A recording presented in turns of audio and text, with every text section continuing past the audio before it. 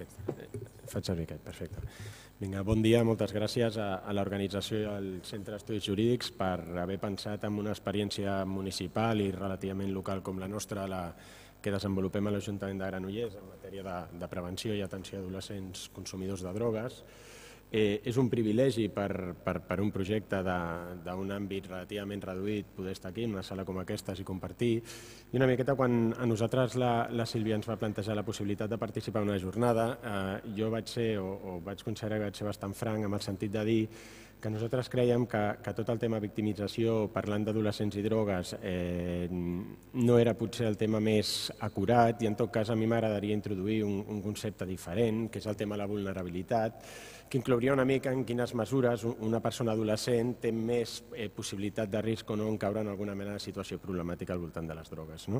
Hi ha una presentació relativament extensa que ja veureu que, que aniré passant diapositives ràpidament, però si algú tingués interès en, en alguns dels estudis o de les dades que aquí es plantegen, actualment nosaltres disposem d'un blog o del Twitter mateix del programa que es diu sobredrogues.net en català, que ara mateix l'acabem de penjar i que en principi no, no hi ha cap problema perquè en feu ús. No?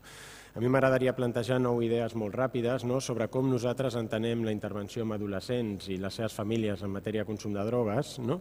però sobretot aquestes idees tenen a veure una mica en el per què nosaltres donem sentit en el discurs que nosaltres proposem des d'una perspectiva tècnica. No? Aquestes idees que les enumeré molt ràpida doncs, tenen a veure en primer lloc en què és el que nosaltres ens trobem, com a Ajuntament que, eh, per, per bona voluntat, perquè no deixa de ser una competència que a nosaltres no ens ve donada, eh, engeguem o endeguem un programa municipal d'atenció a les drogues i que actualment donem abast amb conveni doncs, Centre de Salut Mental Infantil Juvenil, alguns centres residencials d'acció educativa de la zona o també amb, amb, amb un centre de justícia juvenil de, de Granollers que actualment és Folk i Torres. No? Nosaltres, per, per ser usuari de, del nostre servei, en principi s'ha de ser, en teoria, adolescent menor d'edat, tot que això ens ho hem saltat una miqueta, en teoria s'hauria de ser resident a Granollers, tot i que això ens ho hem saltat una miqueta, i en principi hauríem de eh, ser d'un usuari de la comarca del Vallès Oriental Nord, que també ens ho hem saltat una miqueta. Això és sinònim de que existeixen poques experiències en aquest, en aquest marc a nivell de Catalunya i que estem assumint una mica competències que entre cometes no ens toquen, ho dic per una reflexió al voltant. No? La majoria, bueno, no, tots els adolescents que nosaltres hem atès en, en 8 anys, bueno, per, permeteu-me, jo, jo tinc la, la fortuna, crec que com a professional, de disposar d'unes hores d'atenció clínica als adolescents i les seves famílies, però paral·lelament també seria la persona que dinamitzaria tots els projectes de prevenció al voltant de la ciutat de Granollers. Dit d'altra manera, no només seria la persona que els atendria quan tenen algun problema, sinó que alhora seria la persona que al llarg del seu cicle adolescent, al voltant de l'escola, l'ESO, PQPIs, etc., doncs, participo dinamitzant algunes qüestions relacionades amb el tema de les drogues. No? Nosaltres una qüestió relacionada amb els diferents perfils o tipologies de problemes que rebem, només m'agradaria destacar una, veureu que la majoria és per temes de sancions administratives o problemes amb justícia, és a dir, en qualsevol cas, tots venen condicionats per una mena de, de premissa clau que és a la que nosaltres ens fa replantejar la intervenció, no? que és com treballar amb xavals que no venen per pròpia motivació, que venen derivats per algun adult de referència, la majoria dels quals els obliga, no? i que quan tu els demanes si tenen algun problema amb les drogues, la majoria de vegades no els senten com a problema, quan si els demanes si vols deixar consumint, la nostra majoria són, és marihuana i un consum bastant intens, et diuen que no. no? Llavors nosaltres el que intentem plantejar és treballar l'estratègia de reducció de danys com a mecanisme terapèutic, també bàsicament bàsicament entenent com quatre grans idees. No? Treballant sempre la responsabilitat com a variable educativa, independentment que de la decisió de la persona que tenim davant sigui deixar o no deixar de consumir, l'autonomia com a finalitat, el fet de caminar sols i la reducció d'anys des de la lògica d'entendre que hi ha algunes maneres de consumir o algunes pautes de consumir que segur que donen menys problemes que altres. No? Tot això nosaltres ho entenem des de la lògica educativa o, o socioeducativa de l'acompanyament, és a dir, intervenir o ocupar un espai d'aquella persona adolescent en un moment de la seva vida, per tant, de que entenguem dos variables que ells ens pugui tenir, que és ser un referent útil a la seva vida, i a partir d'aquí nosaltres de, eh, desenvolupem un programa. No? Sí que m'agradaria fer referència que, òbviament, en el marc de vulnerabilitat social del tema de drogues, òbviament hi ha tot el que té a veure a, la, a les pròpies característiques de la persona, que jo ara en destacaria algunes, però que ara, des d'una perspectiva més psicològica, doncs, eh, penso que està molt treballat, però a mi sí que m'agradaria fer referència que bàsicament el que nosaltres ens estem trobant són processos de vulnerabilitat estat lligat a dos grans qüestions. Una, les pròpiament contextuals, xavals amb dificultats pel context social on viuen, per les famílies o les seves relacions, no? bàsicament no deixa ser un tema de condició de classe moltes vegades, i també que algunes de les respostes que l'administració dona en relació a les drogues també ens situen en posició de vulnerabilitat. No? I això és un tema que després donaria. No? Òbviament tot el tema més des d'una perspectiva psicològica està treballada, com aquesta presentació la teniu, si us agradés aprofundir, veureu que hi ha tot el model de factors de risc, és a dir, intentar donar una objectivitat a quins són aquells indicadors que poden situar la persona en un major risc de problema. Veureu que en un marc psicològic sempre hi ha eh, uns patrons de conducta o s'intenta determinar uns patrons de conducta que bàsicament té a veure amb, amb l'autoregulació, el control, amb trets d'impulsivitat o, o tot el que serien eh, trastorns relacionats amb temes de conducta, no? i que si volguéssiu aprofundir en aquest cas no hi hauria problema. No? Dic en el marc més de context social, eh, tots els últims informes que estan a venti dels defensors del menor de diferents comunitats autònomes alerten no, que en el context actual de desigualtats, retallades i en aquesta crisi de noció de futur, també obligats per un tema de, de crisi econòmica i social, moltes infàncies i molts adolescents en situacions de desigualtat social alhora són més vulnerables a alguna qüestió relacionada amb les drogues. No, no fa gaire la, la revista de Psicologia Social publicava en aquest estudi on parlava d'una mena de continu al voltant de vulnerabilitat, on en el marc d'un context comunitari i un context familiar hi havia quatre eixos que són els que determinaven bàsicament quins eren la, els factors de risc predisposants. No? Tot el que té a veure amb com un sent amb el seu grup d'iguals, tot el que té a veure un amb, amb, amb com afronta el seu futur formatiu, tot el que té a veure amb un com és tractat a l'escola i tot el que té a veure amb un com, com gestiona tot el tema del seu estat d'ànim. No? Eh, en el meu cas i, i en el marc meu més personal de la universitat, i ara que m'ha tocat tornar a afrontar el tema de la tesi doctoral, eh, a mi... Ai, perdó, hòstia, vaja, hòstia, l'he fotut. Eh, M'agrada defensar sobretot eh, com dos grans temes que condicionen una mica el per què nosaltres estem entenent les drogues d'aquesta manera i alhora això condiciona la manera en què nosaltres intervenim des de les administracions. I la primera hipòtesi de la qual a mi m'agradaria partir és que anem en compte que, eh, això és una opinió molt personal i, i, i a treballar, però seguim fent una lectura de l'adolescència del dia d'avui en relació a adolescències d'anys anteriors. I l'adolescència del dia d'avui ha canviat moltíssim, jo m'atreviria a dir que en els 20 últims anys eh, s'ha instaurat com a cicle vital, un cicle vital que cada vegada s'allarga més i i que això la, la conceptualitza com a etapa educativa per se. No? Eh, si nosaltres estudiéssim o féssim una mena de lectura clàssica de la, de la psicologia del cicle vital, ens, ens donaríem que després de la infància hi hauria la preadolescència, adolescència, vindria la joventut, etc. No? Si ara féssim una lectura una mica més estricta, ens adonaríem que després de la infància arriba la preadolescència, després parlaríem d'adolescència, després d'adolescència tardia, eh, després parlaríem de primera joventut, joventut adulta, l'adult jove, o fins i tot en alguns contextos es parla també d'aquest concepte una mica vintage, d'adultescente, no? d'una persona que, que situa sempre en aquella mena de franja. No? Però en qualsevol cas, eh, una de les grans característiques de... Eh, jo m'atreviria que eh, una de les grans característiques de, de l'adolescència aquests últims 20 anys és que ve condicionat per tres grans variables que en principi serien, han estat persones que per diferents motius han estat hiperprotegides des de les institucions, des de les famílies, des dels nostres propis discursos. No oblidem que l'adolescència actual també és fill de la bombolla immobiliària, i això sembla que no, però també eh, té repercussions, ara no donaria temps a desenvolupar aquest tema. En segon lloc, han estat educats en el model de la individualitat, el tu decideixes què fem la teva vida, el tu fas, el tu qual. Què passa? Perquè jo crec que l'administració no ens hem cregut aquest discurs, no hem fet campanyes de tu decideixes fumar porros. Ara bé, si no te'ls fumes, collonut, però si te'ls fumes no sabem quina resposta donar-te en aquest sentit. I en, i en tercer lloc, eh, l'adolescència actual, si per algun element es condiciona en els últims anys, és per ser eh, soberans o paradigmes del que seria la societat de consum. No? La gran diferència de la població adulta és que ens identifiquem pel que produïm socialment, pel que treballem, jo sóc psicòleg, jo sóc tal, en canvi un xaval a dia d'avui s'identifica sobretot pel que fan al seu temps d'oci. No? Les drogues s'emmarquen en aquest temps d'oci i esdevenen un element de consum i no l'element. No?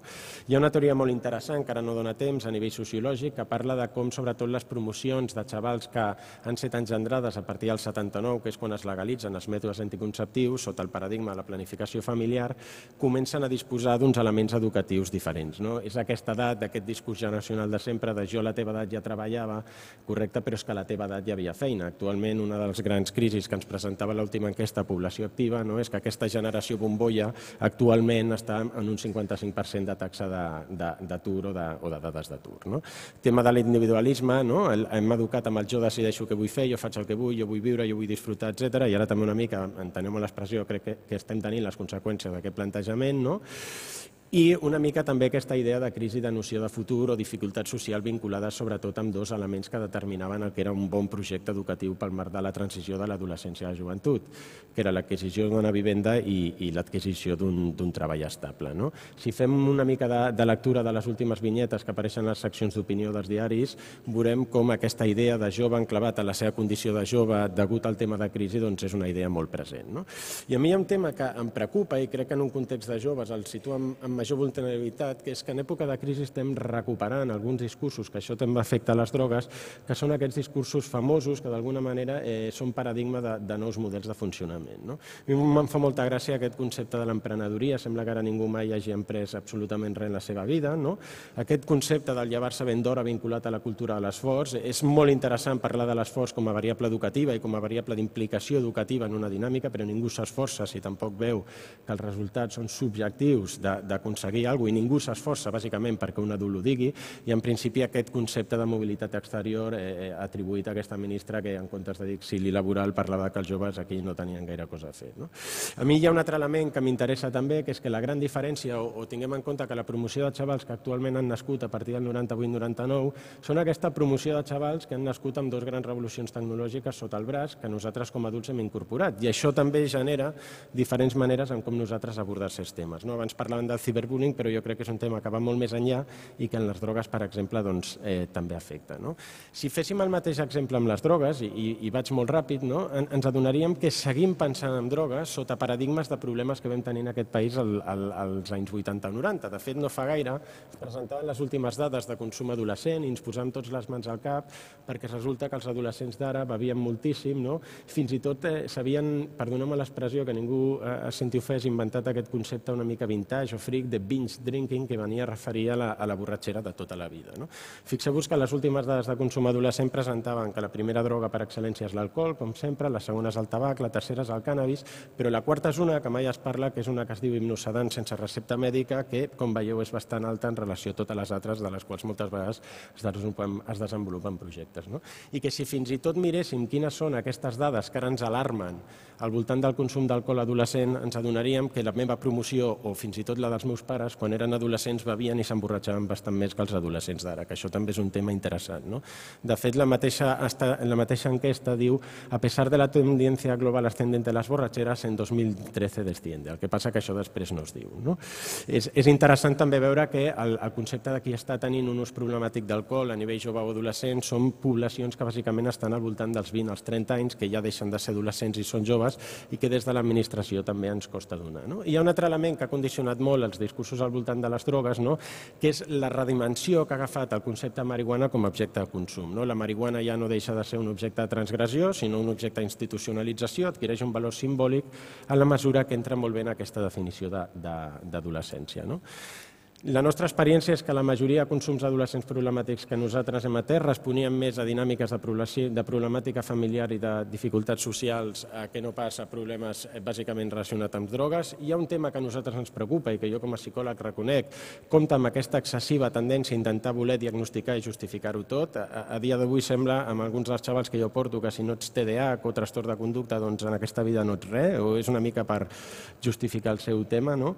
Eh, els usos de drogues poden tenir diferents nivells de gravetat i problematicitat i en tot cas ens interessaria treballar amb aquests diferents, és a dir, no posar-ho tot al mateix sac, no? i nosaltres sempre defensem que els usos de drogues sempre són resultat d'una equació. El problema no és fumar porros, sinó el problema és no fumar porros, fotre pals, llevar-te cada dia a les 12 i no fer absolutament res. No? I òbviament que quan parlem d'adolescents i drogues ens preocupen problemes que van molt més enllà de l'addicció, sinó ens preocupen problemes que es poden situar en, en posició de vulnerabilitat. No? Aniré molt ràpid i, i, i en un minut quines són les respostes que estem estem donant de l'administració i veiem que són respostes extremadament difoses. No? Eh, jo que visc a Vic, a la Plana tenim el primer institut que se li va acudir posar eh, gossos policia a, a l'hora del pati per determinar quins xavals o quins no xavals fumaven porros. Els gossos van durar tres dies perquè van trobar dos cogollos i després resultava que eren més cars els gossos que la marihuana incautada. No? O veiem com l'última campanya, no? alguns partits parlaven altre cop de repartir indiscriminadament tests antidrogues, veiem que tenim a Catalunya la fira més gran d'Europa dedicada al tema del cànnabis, no? o fins i tot a un poble que determina que com a planta i crisi determina plantar marihuana. I fins i tot aquesta última gran proposta de multar els pares que els seus fills s'emborratxaven. No? Dic això Dic això perquè eh, és cert que existeix un missatge molt difós i nosaltres el que plantegem és que qualsevol intervenció en drogues ha de partir des d'un primer punt de vista reducció de danys. Ens agradi o no ens agradi, com a metodologia transversal a qualsevol intervenció i no entenent-la com a mal menor, sinó com una lògica sobretot educativa. No? I per últim lloc, de les propostes que nosaltres faríem, no? és dir, com una, un professional que treballa amb adolescents i joves pot canviar aquests conceptes a base de l'acompanyament o de resultar-li útil de dir, quan començo jo a experimentar les drogues, que és a l'adolescència, convertir allò en experiència i alhora que jo pugui tenir un sentit per a mi. No? Eh, hi ha un estudi que, que, que a mi m'agrada bastant, que analitza a, a molts països d'Europa i Estats Units alguna relació sobre els factors de risc de, de les primeres borratxeres, és del 2012, ve dir alguna cosa així com que si la gent comença a veure de manera moderada, després presenten alguns factors de protecció, cosa que aquests estudis a vegades no surten, i en canvi si es comença a veure de manera canyera, pensem que després el, el jove estarà en situació més vulnerabilitat. Les polítiques actuals és, és, és una mica il·lusori pensar que ningú veurà fins als 18 anys quan després el que veiem és que una persona fins a 18 anys s'ha emborratxat algun cop a la seva vida. No? Les propostes que nosaltres treballem i aplego és a nivell individual intentar transmetre uns missatges, no? bàsicament lligats a la responsabilitat, prudència i moderació, del ja sé que em passo a, a, estigues motivat per fer alguns canvis, el porta-ho bé, el porta-ho millor, el no sé què coi fotre en la meva vida, doncs fes alguna cosa. No? A nivell grupal nosaltres creiem que, que hem de començar a articular i a invertir en això que es diu en prevenció selectiva i prevenció indicada, és a dir, treballar en aquella situació que està en risc de consum i donar respostes específiques, no? i sobretot a nivell comunitari augmentar estratègies de detecció precoç, que en molts dels casos, quan a nosaltres ja ens arriben, dit d'altra manera, estan molt, molt pervertits. No? Òbviament, fomentar espais de reflexió per la família i també eh, nosaltres som dels que pensem que el millor que el millor projecte de prevenció per a un jove és ocupar-li el temps de manera activa, que se senti implicat i que li generi unes mínimes expectatives de futur, no? cosa que en un context actual és bastant eh, difícil. No? I per últim, eh, ja que això va de victimització, nosaltres només volíem proposar que tractant-se d'adolescents i drogues potser ens hauríem de centrar més en aquest concepte de vulnerabilitat, tot i això tenint en compte que molta de la vulnerabilitat ve lligada a les mateixes polítiques que nosaltres estem oferint no? i que moltes d'aquestes respostes en, també les provoquen. I per últim, entendre les drogues en qualsevol context en l'adolescència com un producte d'una situació concreta i no com la base de molts dels seus problemes. Disculpeu la rapidesa, disculpeu que hagi anat tan a saco. Eh, en qualsevol cas, eh, això està penjat, aquí estan totes les dades, moltes gràcies per la vostra atenció i, i fins una altra. Thank you.